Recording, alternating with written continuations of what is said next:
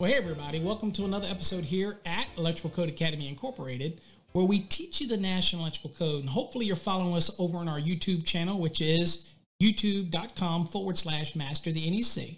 But you're also listening to our podcasts, and they're available over on our website at masterthenec.com. Or you can even listen to them here on our YouTube channel.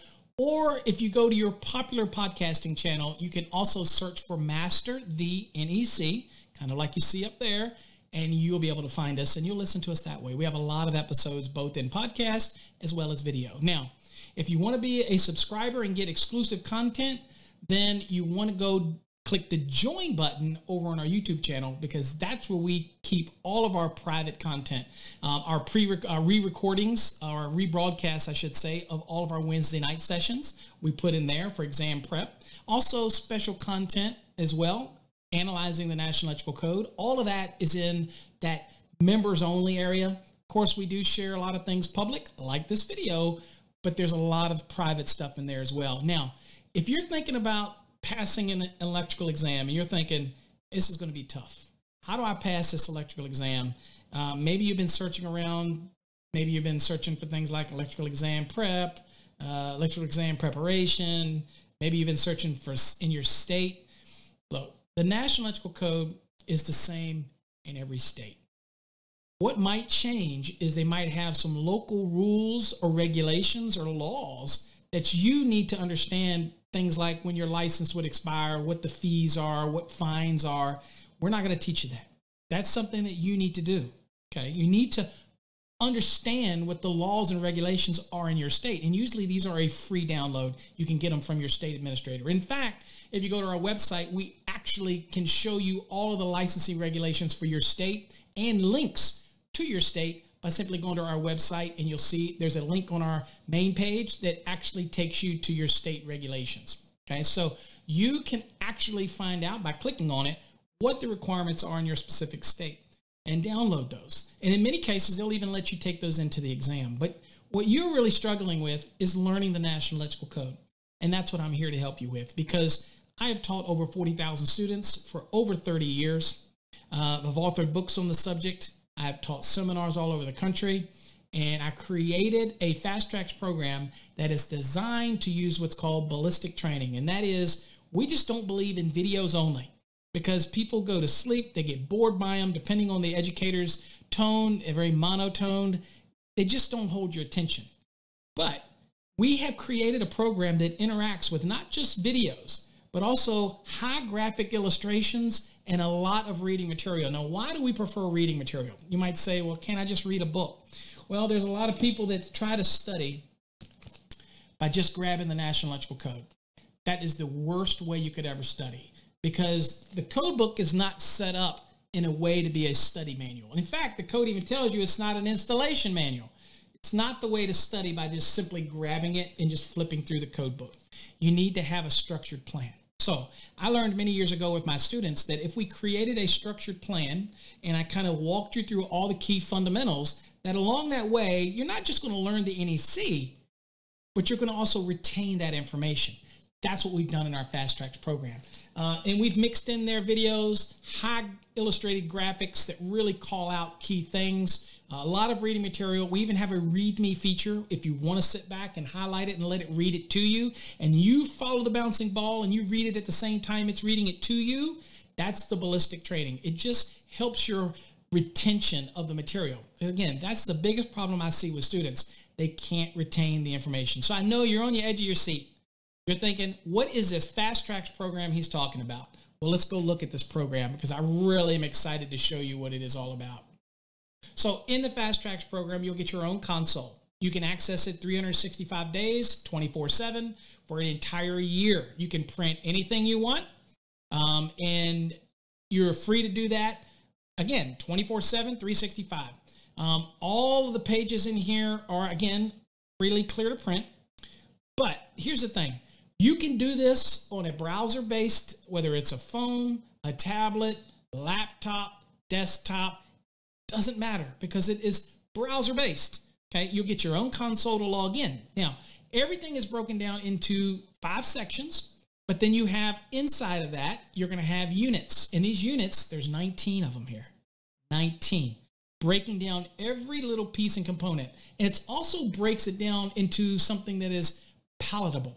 In other words, something that you can read it without being too bored with it because we give you the images and then we give you what's called callouts. But rather than just talk about it, let me show you what you get in this program. This is just a, a peek into the program. So if I were to go into cables and I click reading material, for example, in this case, I've already in the program. If you want to go back to the beginning, you can get your table of contents, take you back to the, the very beginning and we talk about bored holes. Very beginning uh, in this unit, A, see the call out, this is the bored hole, and it tells you hole must be bored so that the edge of the hole is at least one and a quarter inches from the nearest edge of the wood framing member. And see how I clicked my left mouse and drug over it? I can highlight that at any time if it's something that I want to keep and remember. And again, you can go get over here in the study hub. It'll show you everything that you've highlighted. So you can come back later to some important topics. But here's something else that I want to do. If you want to take the highlighting off, you click it again and just remove it. See these chevrons right here? Anytime in our program you see these chevrons, you need to grab your code book because a whole process here is not just watching a DVD and watch somebody else commentate. Here you're interactive. So when you see a chevron, and we've added these chevrons so that you go to your code book and read that code section because we're going to give you commentary. You're going to see the illustration. Now you're going to read the code. We do this all through the program. Why do we do it this way? It's interactive. It really gets you maneuvering through this book. And this is what you want to do. You want to get used to there. You want to get used to going through this book, and we give you the process and how to do it. Okay. And so that's what's unique about it. And here you've got a lot of notes, a lot of extra information. Let's say you just want something to be read to you. Well, you can highlight it, left click and hold it. I'll just do a little bit of it and click read the text. Holes must be bored so that the edge of the hole is at least. And there you go. If you want to read the whole thing, highlight the whole thing. It'll read it. If you just click this, it'll read the whole thing to you. If you want to kind of hear it, follow along, watch the bouncing ball. Uh, all these things are tickling the senses that's going to help you retain the information. There's a reason why we want you to read because reading comprehension is the biggest thing that people have a bad experience with on an exam. They read a question and they just can't understand it. They cannot comprehend what they just read. So, how do we combat that? We give you the meat and potatoes of the core requirement. We put it on the screen. You read it. Okay. You go look it up in the code when you see the chevrons. It starts to make sense. Okay. Now, another thing I'll tell you our students know that they can go to our website, which again, masterthenec.com. And up at the top, they actually can download an app put the app on their phone and it has a feature if they can contact me at any time to ask me a question about something in their unit that they don't understand. Okay. And I have everything right here on my phone and I answer these questions. Now, I have literally over a thousand students in my Fast Trax program right now. And let me tell you what, I answer their questions, I interact with them, but they also come to our Wednesday night training. Okay. And you're not required to come to our training. But if you want that training, that little bit more, for this low price that you're paying for our program, with all the interaction, with all of the other benefits, you also get access to me on Wednesday nights where I will answer your questions that you're struggling in the unit, something you don't understand. We will go over it. I even do scheduled training like box fill, uh, range calculations, all these types of things. And I do this also. I record them and I share them later for all of my fast track students so they can come back and watch it. So maybe you missed a session, but you still want to get the training. I make it available to you.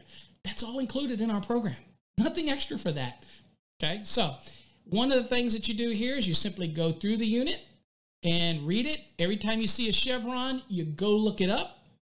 Okay, again, this works on any type of browser based system, whether it's on your phone, your tablet, PC, doesn't matter. MacBooks, doesn't matter. It's browser based. You can change the font size right here. If you want it to be bigger or you want it to be smaller, totally up to you. If there's something that's real important here, you want to create a bookmark, go for it. If you want to print this page, go for it. You have access to everything. Now, also want to know that we do reviews. So at the end of a unit, you'll get review questions and you have to answer these review questions. Now, we're just to, it's not to be A, B, C, or D. Here it is, you have to give your code reference in this box and the actual reference to the answer and make sure you read the question right. This one wants the answer in inches. Then you make sure you answer the question accordingly. Where do you get these answers? Well, in many of these competency reviews, remember, it's a competency review. So in that unit, you'll get a lot of the answers in that unit, but you won't get all the answers. We do this on purpose because during the process of you going into the chevrons, remember, and looking in the code book, you're going to have to get better familiar with going in and out and maneuvering through this code book. I mean, at the end of the day, that's what it's about, right? This is the document that you get to take into the exam, not this. You don't get to take test uh, practice tests. You don't get to take uh, DVDs or, or textbooks. You get to take your code book. So, what we want to do is test your competency not only on the material you just read, but we're also testing your ability to find the answers, and they're going to be within the, the actual genre of what the unit's about. For example, cables. So it's going to be in chapter three, but what we're doing is testing your ability to take what you read and retain it, but then are you able to navigate in and be able to find the answer? Because we've given you the tools to do that during that unit. So very unique. They've been the questions have been selected very specifically in order to test your ability. Um, and that's what a competency test is supposed to do. Also, at any given time, you can always go over here and click the book. It's available even during these exams or these tests, if you will. For I'm in Unit 4, you could go to Table of Contents, you go down to Unit 4, and everything is in here, okay, to be able to understand what you're dealing with and how you work it out. They're all right here. So you could just go through and pull up anything here and you can help answer your questions here. But all of the material might not be specifically in the reading material. So you need to remember that, right? There was our set holes, setbacks, uh, and all those types. So everything is here. You can print any of these pages as well. So it's all available at your fingertips right there. Okay. So anyway, this is when you're done with this, you fill it all out and you just click submit. And I grade these personally. Every single one of these gets graded by me personally. And I give feedback on every question that you get wrong, provided you get at least a 60%. You get less than 60, then you didn't comprehend the unit very well. I want you to redo the unit. Remember, this is not a sprint. This is a marathon, okay? Take your time. Be very patient. You will learn the NEC. There's no doubt about it if you follow this program. Also, you'll notice right there, that little green circle, when I do a grade, a review, that's where you go to see my comments on your review and to get your scores and things like that. Okay. So a lot of information in here. You simply go through the unit, do the reading material, go through every folder, and then do what's called a unit four assessment. That's your ending assessment before you go on to the next unit. You'll also notice that we put videos in here as well that correspond with the topic of that unit and go through it. Then before you go to the next unit, we'll grade it and we'll give you your feedback. You need to review the things that you got wrong. And then once it's done, you can go on to the next unit. Okay. So as you can see, there is tons of units in here, tons of activities. Here you see it's broken into the general provisions, specific provisions, load calculations, and then services and electrical equipment. Broken down in every unit. There's a review. There's an assessment. Here you see we put some videos in there. There's just some simulations in there if you want to play with them. That's up to you. And then you've got some drill work in this unit that you got to work on. Okay, we put them all in there to test your knowledge. Okay, but remember, you want to go into a unit, finish that unit before you leave that unit because there's so much packed into each unit. Next, you get all the way through each one of these. And again, we put all the videos here together so you can kind of jump to any video you wanted as well. But we also get you some of these. Now, here's the video that I do that explains how to dissect the root of a question. That's an important video. You can look at a question and dissect it so that when you're using the index or you're trying to get in the right article or section, you have a better understanding of the question. And that's what that root video does. It really tries to break down the fundamentals of identifying a question. Now, here's the other thing that people like. People are paying a lot of money for question databases, quizzes. Now, there's some free ones online, but they're not updated. So in here, there's some uh, great questions. They're full database driven. They give you the answer when you get it wrong, and it actually gives you the answer even when you get it right, so that you can see where it is in the code book to make sure that you're on track. And so in here, you've got 20 of these with 25 questions. Do the math. They're all in here. And then you've got some final exams, and these have a 100 questions each. So there's a lot of questions for you to work it. And I encourage you to work through these questions until you start getting scores that are above 85%. So if I don't get a score that's 82%, do that one again. Do that entire quiz again, and it'll scramble the questions up. Why is this important? Because we're getting you in and out of the code book. Look, you cannot be successful without a plan. You might stumble and, and maybe pass the exam, maybe. The problem is, once you get in the field, and I have people that call me on a daily basis that they got their license, but they're still struggling how to use this book. The goal of my program is that you don't struggle. You can find the answers. You don't need to call somebody like me to help you in the field because you know how to navigate this book. This is why we created the Fast Trax program. It's designed to help you learn navigate and become very proficient with the National Electrical Code. No other course does it like we do it. Some of them just give you graphics, some of them just give you code. Somebody has an automated person talking to you, but they also don't do what? They don't do repetition. They don't require you to read the material. They don't require you to do competency reviews. They don't have the ability to come on Wednesday nights and actually ask me a question about something that maybe you heard on the job or or maybe there's a calculation you're not you're confused with or or maybe you don't understand maybe the securing and supporting requirements of non-metallic sheath cable like you really want to or maybe you want to know more about MC cable. I'm a resource. I want to be your resource. That's why people invest in this program. And if you go look at the price of our program, tell you what, go out there and price question and answer programs. Go question, go price books, and then try to put all that together, and then try to do the pricing on tutoring and see what that costs you.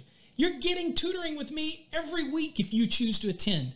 It's already in the course. I'm invested in your success. That's what our program's all about. Now, this video is not going to show you every feature. That's what it wasn't designed to do. There's a ton of features in here. We have other videos for that. I encourage you to watch them. In fact, if you go to our website, masterthenec.com, and you'll actually click on the exam preparation course, it'll say electrical exam preparation. Click on it. And what you're going to see is, is a demo video. Watch that video because that video talks about all of the features, just like what I talked about today, but even more in depth. And you're going to realize why this is the best investment that you can make for electrical exam preparation. But look, I'll go even one step further. This is the best program you're ever going to invest in to learn the National Electrical Code. It's not about the book. It's not about the illustrations. It's not just about the the uh, the README feature. It's not just about the competency reviews. It's about all of those things. It's about the Wednesday night one on ones that you have with me. It's about the ability for you to read it and have a question that you can reach me anytime. Do that with other educators. At least ones that you Google and at my level, see if they're reaching out to you. Do it. That's why I'm here. I have dedicated my life to this. I have dedicated to teaching you. I don't know everything, but I know enough, trust me, to help you be successful hopefully you will invest in the Fast Trax program. I look forward to seeing you as a student. If you have any questions, as always, feel free to reach out to us. The email address is above info at masterthenec.com. Until next time, folks, stay safe. God bless.